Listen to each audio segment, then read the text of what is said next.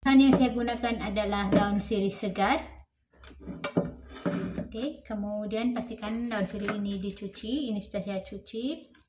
Untuk ini kita akan gunakan secukupnya aja.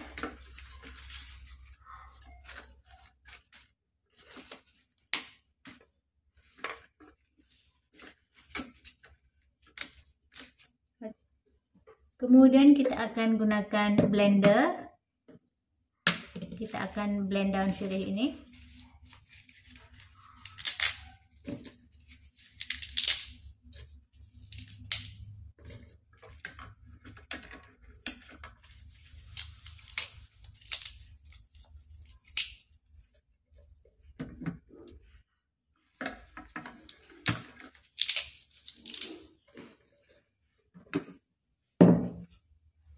Tambahkan dengan sedikit air.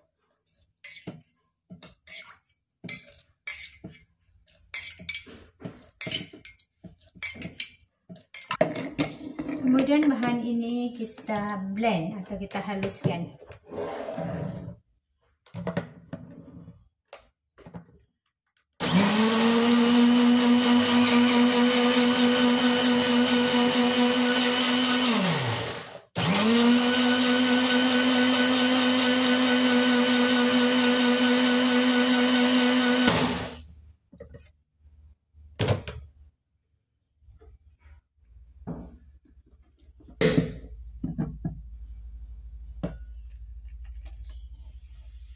Oke, jadi ini dia siriknya sudah kita blend. Nih. Jadi Bunda Sister bisa gunakan blender atau Bunda Sister bisa menumbuk daun sirih ini. Kalau Bunda Sister menumbuknya daun sirih ini akan berwarna agak gelap, agak hitam, agak coklat. Jadi bagusnya Bunda Sister gunakan blender aja untuk menghaluskannya karena hasilnya akan lebih bagus. Daunnya tidak hitam tetapi masih tetap hijau. Tetapi kalau bunda sistem menumbuknya dengan menggunakan penumbuk atau menggunakan batu lesung, daun akan berubah warna. Oke. Okay? Jadi bagusnya gunakan aja blender karena karena warna daunnya tidak berubah tetap hijau seperti ini tetap cantik.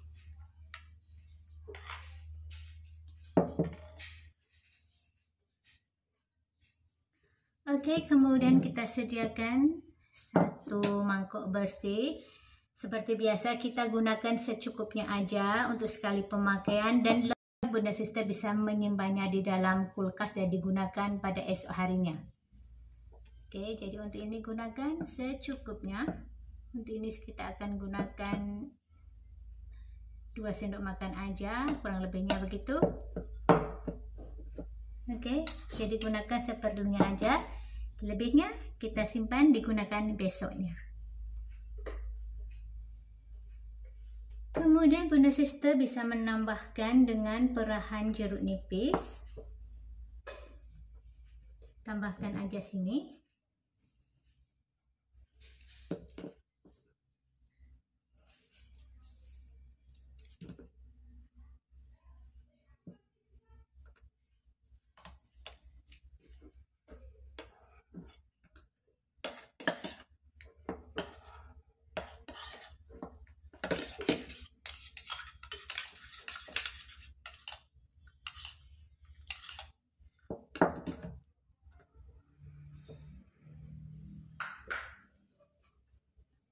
Setelah ini bunda sister bisa menambahkan madu kalau ada madu tetapi kalau bunda sister tidak mempunyai madu cukup dua bahan ini aja kita sudah bisa menggunakannya.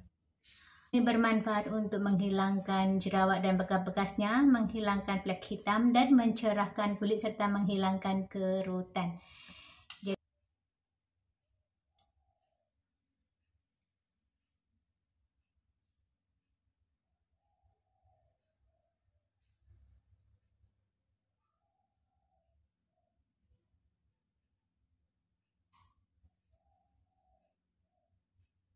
Bisa melakukan perawatan ini setiap hari, oke, okay? agar flek-fleknya cepat hilang. Itu saja untuk tips hari ini. Semoga bermanfaat untuk Bunda Sister semuanya. Sampai jumpa lagi di lain video. Bye-bye.